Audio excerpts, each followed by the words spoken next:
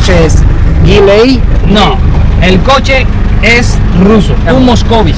Motor, el motor es francés. Ajá. Y la pizarra es china. Y el chofer, cubano.